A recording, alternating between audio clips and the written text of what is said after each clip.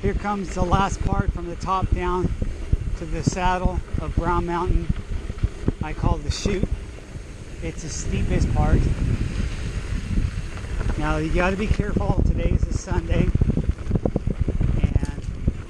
there could be people coming up, so you need to watch out for that. I'll go a little bit slower today because of that fact.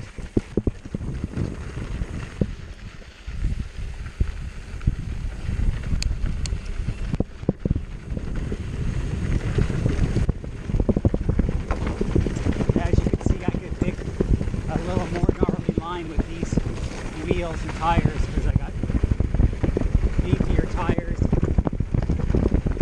wider rims. Okay, it looks clear. Hopefully nobody here. A little bit of a jump right here. And then last part. Oh yeah.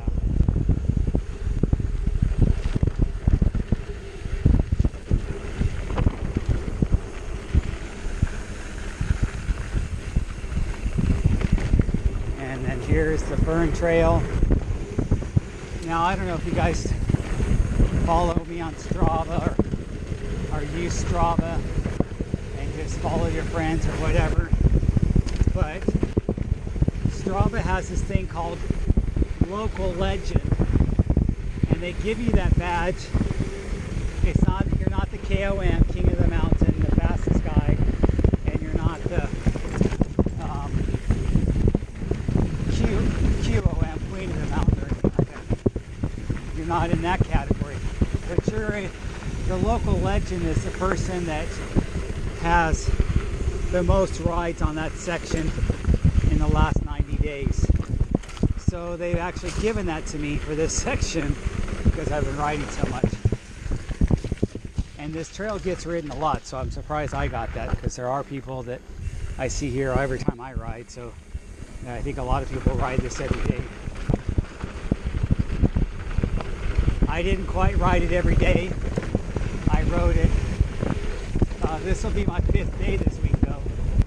So, and then as you guys know, four of those days was on my single speed, and today is on my Escar Hey Duke.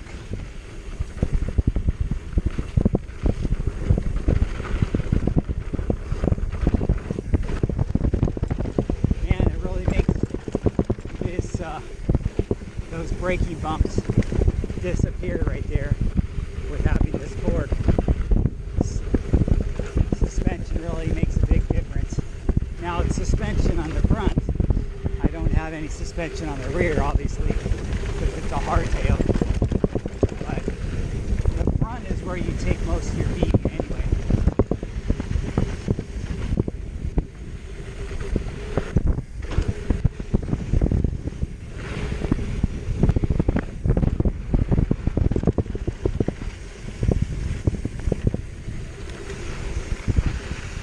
Hello.